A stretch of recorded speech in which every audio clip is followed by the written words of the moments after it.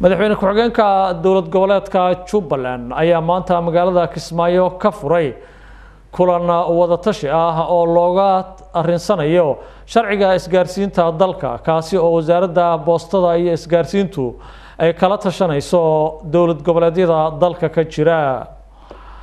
Aadan maxamed salaad wariyahayaga inooga soo warama magaalada kismaayo ayaa warkan inoo soo diray si soomaaliya ay u yeelato isgaarsiin la waafajiyey sharciyada dalka u yaalla oo muddo ka badan labaatan sano aanu lagu dhaqmin ayaa haddana waxaa socda dadaallo la doonayo in lagu xoojiyo sharciyada isgaarsiinta ee dalka. Waxaana maanta ka furmay magaalada kismaayo shir wadatashi ah oo looga hadlayo xoojinta arrimahaasi. Shirkan wadatashiga ah ayaa waxaa ka qaybgelaya wasiirada dowlad goboleedyada dalka ee isgaarsiinta iyo sidoo kale wasiiru dowlaha wasaaradda isgaarsiinta ee dalka iyo ku-xigeenka wasiirka wasaaraddaasi shirkan ayaa inta uu socdo waxaa diiradda lagu saarayaa sharci u helidda isgaarsiinta dalka iyo sidoo kale wada shaqaynta mas'uuliyiinta ka kala socda dowlad goboleedyada dalka iyo dowladda dhexe. Ugu horeyn waxaa shirka ka hadlay wasiirka martida loo yahay cabdinuur cali aadan wasiirka warfaafinta boostada iyo isgaarsiinta ee dowlad goboleedka jubbaland. Ballansanaa oo looga hadlaya haddii alla idmo hindisi sharciyeedkii isgaarsiinta dowladda federaalk ee soomaaliya annagana aan dowlad goboleed haddaan nahay aan qaybka ka ahayn qaybtiisii hore waxaa lagu qabtay magaalada muqdisho. Haddii alla idmo qaybtii labaad ayaa hadda loo ballansanaa lasugu yimid. Runtiina waxaan maanta kaga hadli doonaa haddii ilaahay yidhaahdo qaabkii loo wada shaqayn lahaa oo mugdi mugdi hadduu jiray looga saari lahaa iyo in mashruuca i c t-ga si fiican lasu fahamsiiyo oo waxyaabo badanaa dadka jira in laga dhaadhici ay u baahan yihiin in la fahamsiiyo ay rabaan waxaan u gudbi doonaa marka sharcigii iyo iyo iyo hawshiisii. Marka maanta waa furitaan.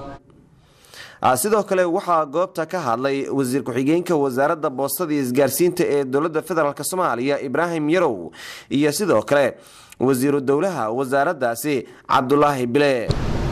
Shirkeena labada maalmood waa noo socon doonaa.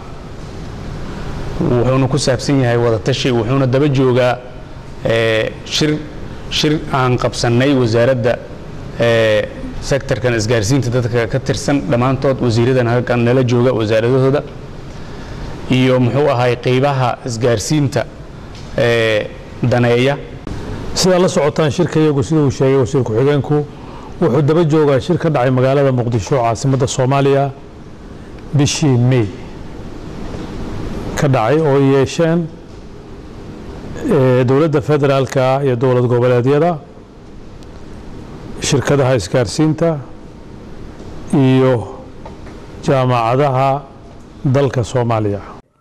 Ugu dambeyntiina waxaa shirka si rasmi ah u daahfuray madaxweyne ku-xigeenka dowlad goboleedka jubbaland maxamuud sayid aadan waxaana uu sheegay maanta halkan waxaad u wada joogtaan xeerkii isgaarsiinta. Xeerkan isgaarsiinta waa mid mar hore loo baahnaa in la sameeyo waa mid naga wada maqan xaquuqdii isgaarsiineed oon wada lahayn iyo khayraadkii ku jiray iyo shuruucdaas oo dhan waa naga maqan tahay dowladihii kumeelgaarka ahaa.